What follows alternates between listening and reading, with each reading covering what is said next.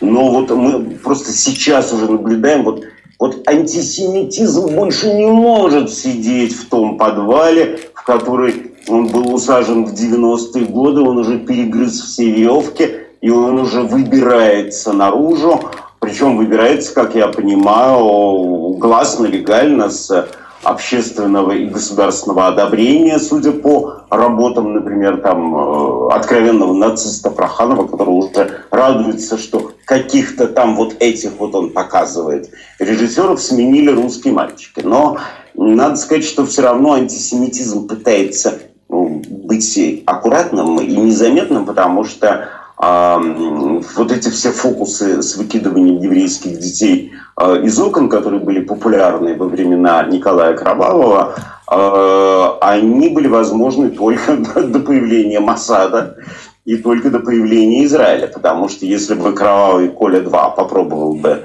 такие шутки с еврейскими младенцами сегодня, то на следующий день, проснувшись, он бы в койке нащупал незнакомое тело князя Юсупова, а, а израильскую ракету Далида, по-моему, да, которая была бы его последним будильником. Это же у, у евреев абсолютно отключается чувство юмора, когда речь заходит об антисемитизме.